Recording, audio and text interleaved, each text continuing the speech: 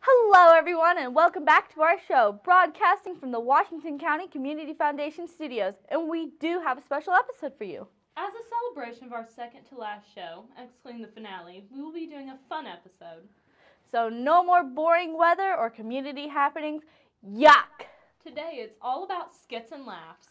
So, hold on to your pants because this one's going to be a doozy. And here's Ethan with some real news. Thanks, guys, and welcome to Real News, the only show that gives you the stories the media won't tell you. This week we'll be talking about Easter, everyone's favorite method of having the scent of vinegar burned into your nostrils. Now, I've been told to write a full length story on the origin of Easter, but in reality, it's really kind of a boring tale. An Austrian egg farmer, Franz Easter, decided he would play a prank on his local village by painting and hiding eggs around town. To add to this, he hid the eggs dressed as his fursona, a fun rabbit. So yeah, that's really all there is for Easter. But I think we have largely there's a largely overlooked holiday happening very soon, and that is Avengers Endgame, baby.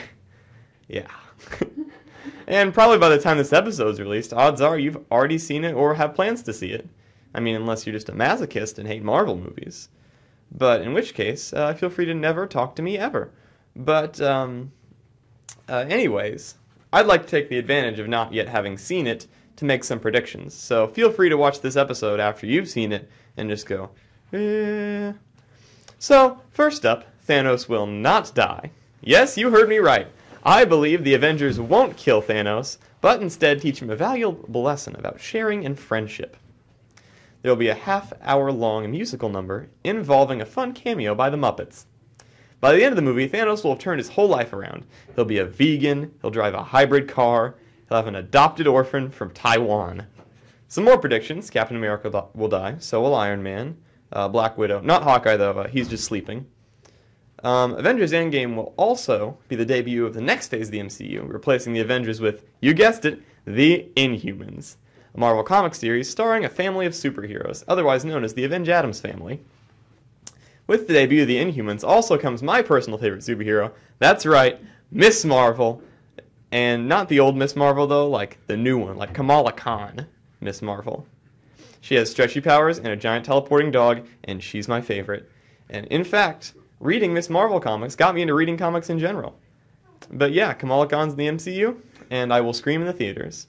And uh, those are my Avengers predictions. So here's some other segment, I guess. I don't know.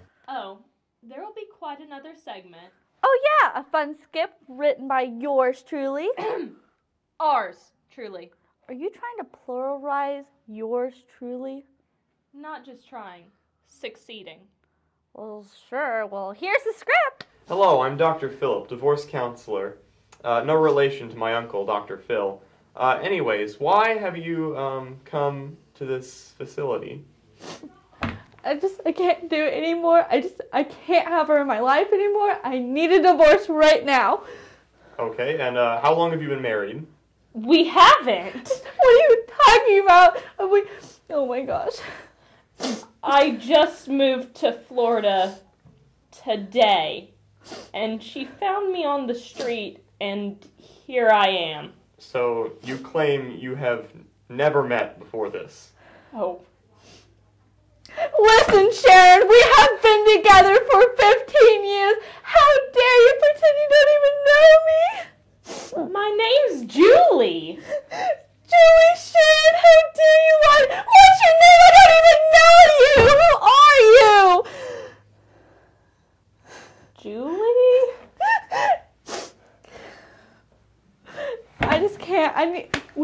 we have to divorce right now. Like, I don't even know her anymore. She told me her name was Sharon 15 years ago when we met, and now she's telling me her name was Julie. How, how dare she? What is So, so you claim you've known each other for 15 years. 15 whole years, wonderful years of my life, and then she does this to me. I'm only 20. we married. We married when we were both five. It was a, it was a whole like arranged marriage. It was very complicated, and I So, love her so, so was much. this arranged marriage like a cultural thing or just like a choice? a little bit of both. Okay. And and you claim you remember none of this. No! Jolie, if that's your real name? Julie. Julie, whatever your name is. You, I can't do this anymore. I just, I've loved her all my life, and now I just don't know her anymore. Okay. Um, do you have any proof of marriage? Any like documents or The proof is in the pudding, which I left at home. what? Okay, what do you mean by that? I put all the proof in my delicious, just dirt pudding. Absolutely delicious. You should try it sometime. But I put it all in there because that's her favorite food. Okay, you do know that usually the proof is in the pudding is like a figure of speech, Not not time. not a guideline. No, this is no. It's all in the pudding. It's all in the dirt pudding. But I left it at home because Okay. I was just so distraught. So as of right now, you have no proof of marriage with you. no proof at all. I don't even have my phone, which is also in the pudding. I just put everything in oh, the pudding. Okay. I, I see how it is. Everything's in the pudding. I, we need to get a Was, divorce was, right thi- now. was this a state of like emotional turmoil where you just had to put things in pudding? It's it's a disease. It's a It's a disease. It's a mental problem. I have to put it in the pudding. Okay, wait. Let's let's let's investigate this. So it's like it's almost like an anxiety disorder, like OCD. It's, it's an you have to put It's a, things in co- pudding. it's a compulsion to put everything in the pudding. We're getting off track. I need to divorce this woman right now. Okay, so in order to have a divorce, I need to have some kind of proof of marriage. Like So- I said, it's in the pudding. Okay. Well, I, I'm gonna need the pudding. Well, the pudding's at home. I need a divorce now. Do you just want to say you divorce her? Sure. All right, you're divorced. Oh, we're divorced. Thank God I'm taking the kids, Sharon. The adopted kids. I'm leaving. Goodbye. I don't know what that was. Well, that was fun. And now a dramatic reading by Ethan. The Beatles were a legendary rock group formed in Liverpool, England in 1960 and went on to pr- transform popular music as a creative, highly commercial art form over the next decade.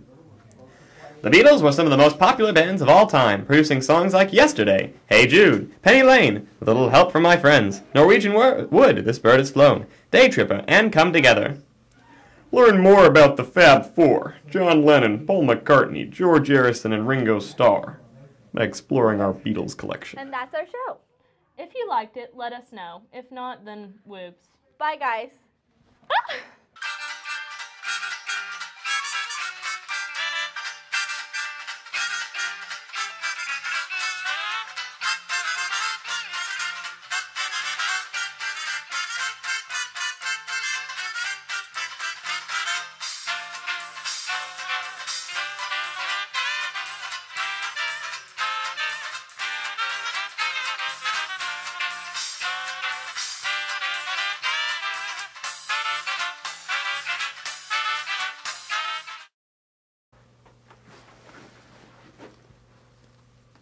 I could sing I could sing Muppet songs if you want. Together again. Gee, it's good to be together again. I just can't imagine what you've e- ever been gone. It's not starting over, it's just moving on. Together again. Now we're here. What? Rainbow. Oh, I can do that one too. I listened to that last night. Why are there so many songs about rainbows? What's on the other side? Rainbows are visions, but only illusions. And rainbows have nothing to hide. So we've been told, and some choose to believe it. I know they're wrong, wait and see. Someday we'll find it, the rainbow connection, the lovers, the dreamers, and me. Oh, la da dee. Alright, I'm done now. Anything else you'd like to sing on camera? Nope, I'm good.